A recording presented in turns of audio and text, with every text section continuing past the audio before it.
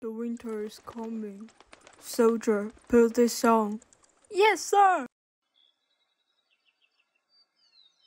Most birds can't tell what the difference is between now or before, but I can feel the change. We'd better do more protections. Otherwise, poor guy. He definitely can't go to the south. Let's go. Yes, sir.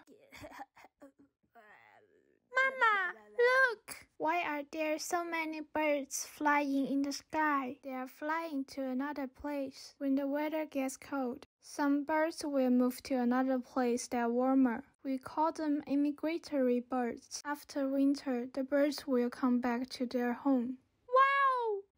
However, the city movement and heavy pollution cause difficulties for birds. Industry pollution, glass building, light pollution. It causes many troubles such as can't recognize day and night, eat toxic pollution, Can I eat it? can't rest or find way in city. I Government is taking actions on environmental problems. Start supporting more eco-friendly industries, local and abroad. Set more energy-saving induction lights. Some cities will close the lights for birds immigration.